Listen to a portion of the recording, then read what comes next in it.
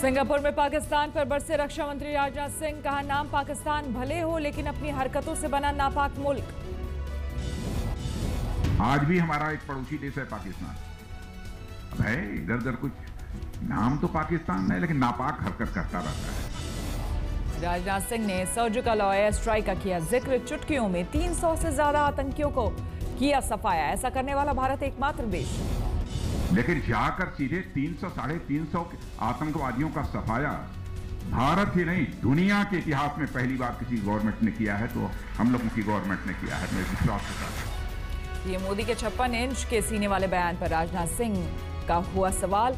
अपना सीना है, आपका सीना है कितना? राजनाथ सिंह ने कहा, पीएम मोदी के रहते किसी और को मापने की ज़रूरत नहीं।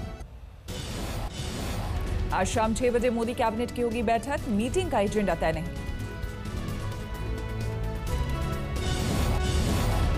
आज सुबह दस बजे कांग्रेस सांसदों के साथ बैठक करेंगी अध्यक्ष सोनिया गांधी। संसद को लेकर बनेगी रणनीति। संसदीय कमेटी के सामने उठेगा व्हाट्सएप जासूसी कांड शशि थरूर की अगुवाई वाली कमेटी करेगी चर्चा। व्हाट्सएप जासूसी कांड में गृह मंत्रालय ने लोकसभा में लिखित दिया जवाब। ज़रूरी जाँच के लिए टैपिंग को वैध करार दिया। गृह मंत्रालय के मुताबिक सिर्फ़ 10 विभागों से जुड़े अधिकारियों को फ़ोन टैपिंग का या फ़ोन से संबंधित गतिविधि पर नज़र रखने का अधिकार। महाराष्ट्र में सरकार गठन के मुद्दे पर आज दिल्ली में फिर मिलेंगे कांग्रेस एनसीपी के नेता। अहमद पटेल और शरद पवार बैठक में रहेंगे मौजूद। अहमद पटेल, पूर्व सीएम अशोक चौहान वेणुगोपाल, मल्लिकार्जुन खड़गे और एंटनी आज सोनिया गांधी से करेंगे मुलाकात। महाराष्ट्र सरकार के मुद्दे पर होगी बात। राज्यसभा में आज महाराष्ट्र में राष्ट्रपति शासन का मुद्दा। गृह मंत्री अमित शाह बताएँगे राष्ट्रपति शासन लगाने की वजह। दिल्ली में नगर निगम की एक रिपोर्ट के मुताबिक पानी की जाँच में 90 प्रतिशत सैंपल हुए पास। सीएम केजरीवाल ने दिल्ली के पानी को डब्ल्यूएचओ के मानकों से भी खरा बताया। दिल्ली में पानी को लेकर केंद्रीय मंत्री रामविलास पासवान और सीएम केजरीवाल की जंग चुनौती तक पहुँची। पासवान ने केजरीवाल की चुनौती मंजूर कर जाँच कराने का किया फैसला।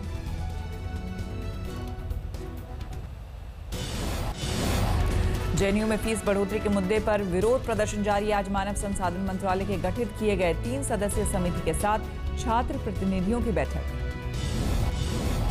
जेएनयू के छात्र आज पुलिस हेडक्वार्टर के बाहर करेंगे प्रदर्शन। छात्रों का आरोप, कल रजिस्ट्रार ने तीन सदस्यीय समिति से मिलने से कर दिया था इनकार। जेएनयू छात्रों के विरोध प्रदर्शन को लेकर दिल्ली पुलिस ने दर्ज किए दो केस, एक किशनगढ़ थाने में, दूसरा लोधी कॉलोनी पुलिस स्टेशन। में जेएनयू प्रशासन ने प्रदर्शनकारी छात्रों के खिलाफ हाईकोर्ट में दी अवमानना की याचिका प्रतिबंधित इलाके में पोस्टर बैनर लगाने का आरोप। बीएचयू में जेएनयू के छात्रों के समर्थन में मार्च निकालने के दौरान हंगामा, छात्रों के दो गुटों में झड़प।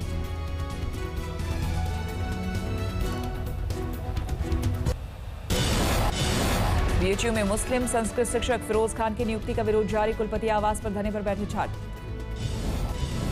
फिरोज खान के पिता रमज़ान खान बेटे से के खिलाफ विरोध से हैरान, कहा, शिक्षा में नहीं किया धर्म का कोई भेदभाव। रमज़ान खान का परिवार हनुमान चालीसा, सुंदरकांड पाठ के साथ भजन कीर्तन भी करता है, कहा, कभी नहीं माना भाषा धर्म का भेद। बीएचयू में एक और, जहाँ मुस्लिम संस्कृत प्रोफेसर पर घमासान छिड़ा, वहीं बीएचयू के उर्दू विभाग में चार साल से हिंदू असिस्टेंट प्रोफेसर हैं। जम्मू कश्मीर में नजरबंद नेता जल्द हो सकते हैं आज़ाद। बीजेपी महासचिव राम माधव ने दिए संकेत।